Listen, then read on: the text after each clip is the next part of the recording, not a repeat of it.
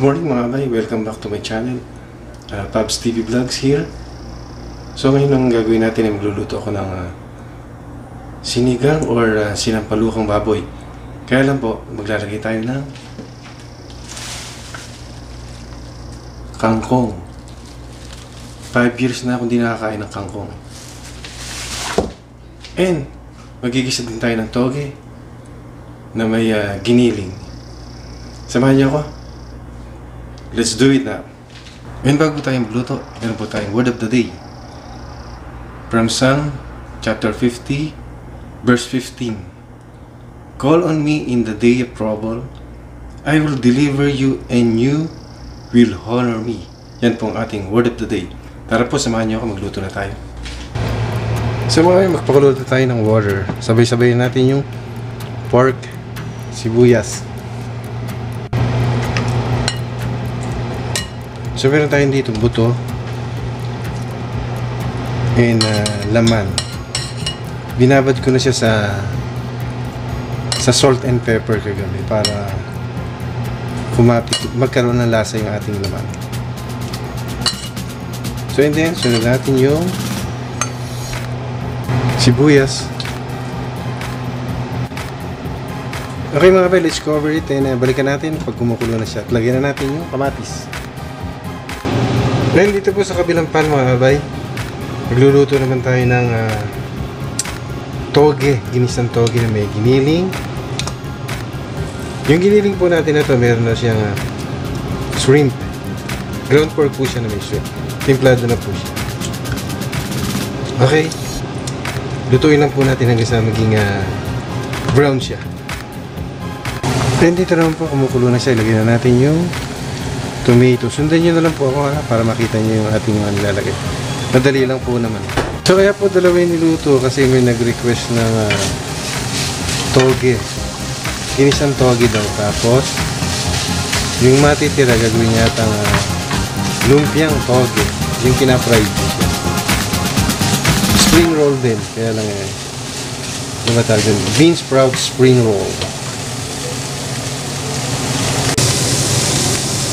Okay, mag-add po tayo ng aking favorite na olive oil.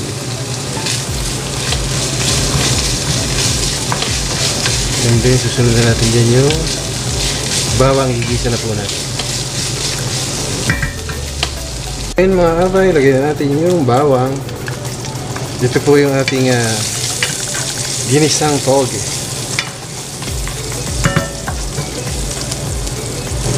And then, the sibuyas. Yung sibuyas po ginawa ko sa kanya i-cube mo. Kasi pag medyo mahaba po, ibabalot ko pa yun. Okay, susunod natin yung Baguio beans. Pero bakit nga ba Baguio beans ang tawag? Dahil sa norte po galing sa Baguio. Yun po ang katawagan sa amin sa Baguio beans. Baguio beans. Hindi ba pwedeng Canada beans? Kasi nasa Canada ako. Okay. Shake, shake. Stir, stir. And then pag naluto po yung ating uh, beans, Baguio beans, Canada beans, susunod naman natin yung toge. Pag-add na po tayo ng uh, mga seasoning. Okay, let's put some toyo. Okay.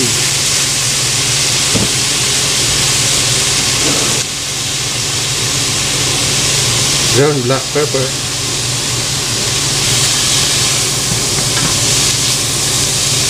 Ito po sa ating uh, sinigang na baboy. Maglagay na tayo ng patis. Depende po sa inyong uh, desired na alat. And then ground black pepper.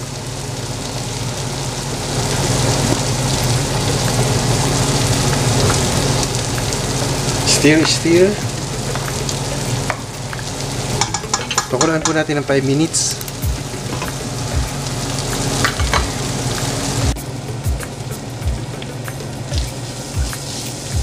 And balik naman po tayo dito sa ating uh, nilulutong ginisang toge. Let's put some carrots. Three point carrots. So habang naghihintay tayo ng ating mga niluluto or while I'm cooking, shoutout time sa aking uh, team LSYG.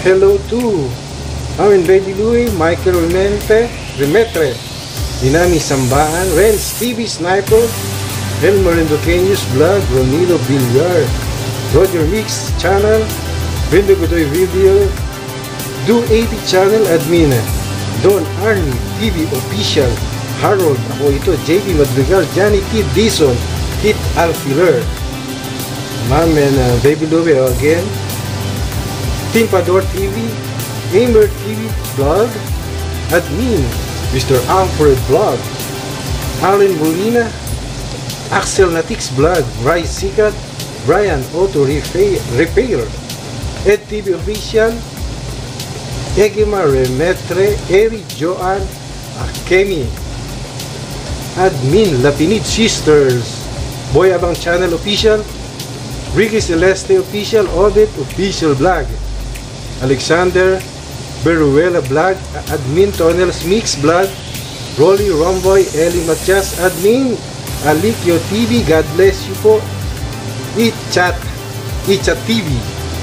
So yun po ang ating mga team. Kung sino po hindi nabanggit, ay ah, mag-comment po kayo at babanggitin ko kayo sa susunod kong buwag. So welcome back again mga abay. Lipat naman tayo din sa kabila. Okay. Bigyan natin yung talong. Yan ang nangyayari sa talong pag hindi nilagay sa water. Eh, discoloration. Okay, pakulan ulit po natin.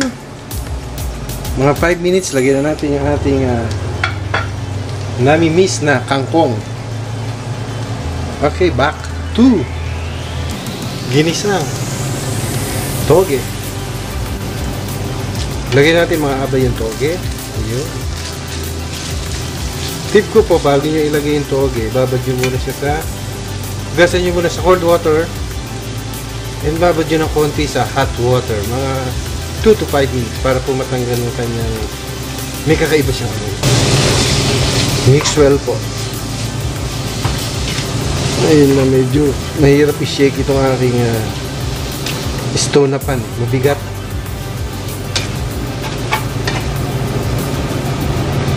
And mag-add po tayo ng konting kikuman. Pero kung wala kayong kikuman sa bahay, okay lang.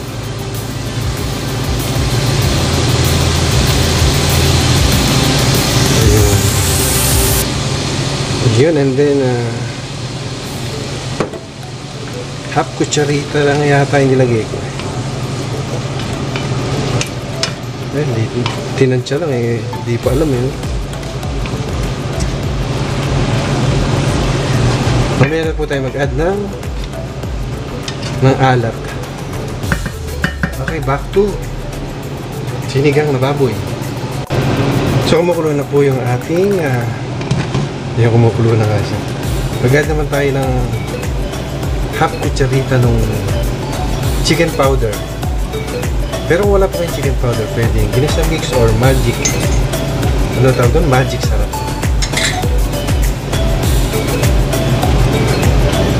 Halo-haloin na po. At balik naman tayo sa sinigang na baboy. And then, kulong-kulo na po talaga siya. Ilagay na natin yung paborito kangkong. Yung kangkong po na to, nag-travel pa to ng 390 kilometers balikan.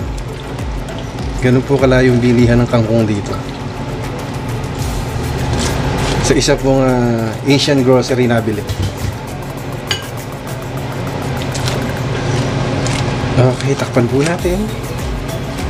Yan, balikan natin after 5 minutes. Para ilagay yung Nor Tamarind Soup Base.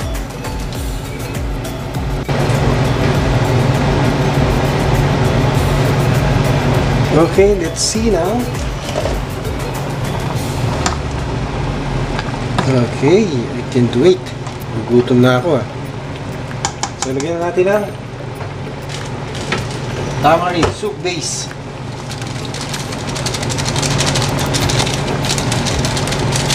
Damihan na natin. Mas masarap yung asim.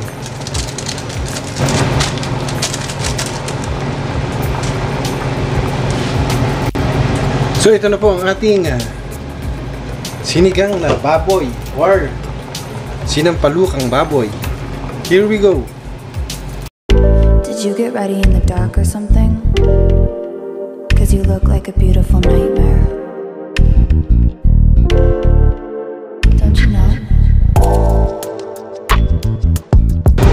And the other side of the stove. And the other side of the stove. Ginisang toge. Here we go.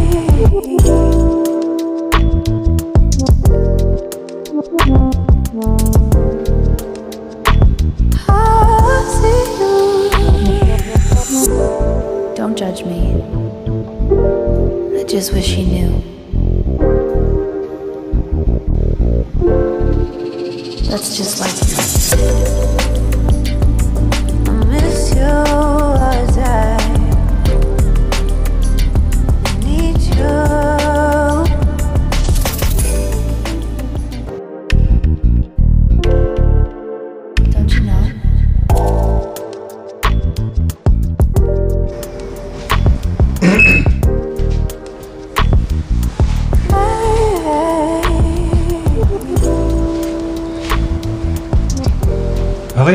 let's eat. Let's pray before eat.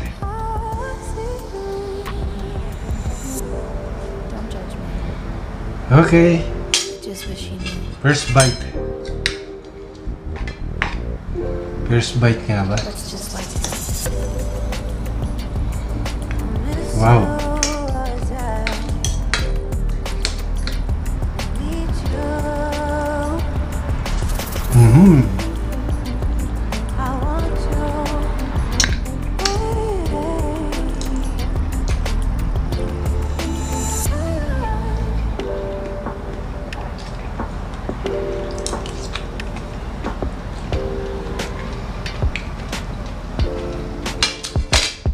Sakto lahat. Thank you very much po for watching.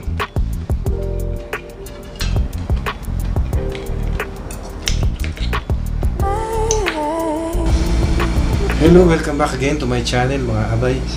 Sana nagustuhan yung ating ah, sinigang na baboy and then ah, yung ginisang toge. Eh, yung ginisang toge po ngayon eh, niluluto nila sa taas ngayon ng spring roll o yung nakabalot siya dun sa lumpia wrapper. So mga abay, ito po ang ating ah, Bible verse daily. From ah, Mark chapter 12, 30 to 31. You shall love the Lord your God with all your heart, and with all your soul, and with all your mind, and with all your strength. The second is this you shall love your neighbor as yourself. Makikita natin dito ang buod ng sampung utos ng Diyos. Ang pagmamahal sa Diyos at pagmamahal natin sa ating kapwa. Ang dalawang ito ay hindi hindi pwedeng paghiwalayin. Hindi natin pwedeng sabihin na Lord, I love you, pero galit po ako sa taong ito. Lord, ikaw lang mamahalin ko. Pero itong taong ito nakagawa ng masama sa akin. Sana malasin siya. Sana madapa siya. Sana magkaroon siya ng maraming problema. Our faith teaches us that we need to love God. And we need to love our neighbor. Hindi maaaring paghiwalayin ang uh, dalawang ito. Bakit? Sapagkat ang Diyos ay pag-ibig. Nakita natin sa Panginoong Heso Kristo mismo kung papaano niya nagawang mahalin ang bawat isa sa atin. We cannot say that we love God and we hate our brother. Ang mga taong ito ay mahal din ng Diyos. Sila ay uh, nasa puso rin ni Jesus. Kaya naman, kung sino ang mamahal ng Diyos, dapat din natin silang mahalin. Let us love one another as Jesus loved us. God bless you. So, hi to my friends out there and uh, thank you nga pala kay Ramil siya ang gumpit sa akin. Thank you Ramil for my hair. And hi to my uh, sisters, Gerby, uh, Gina, Gemma, and to my brother Erwin. And nga pala, sila ay uh, kasalukuyan nag-iingot niya sa atin yung Erwin and Aiko Rolling Store. And uh, sa aking mga kapatid na si Girlie Urbe, meron po siyang digital printing services. To God be the glory, digital printing. Owned by Girlie Urbe po. Uh, kasat, uh, and located po siya sa Santo Cristo Sur, Bataan, Nueva Ecija.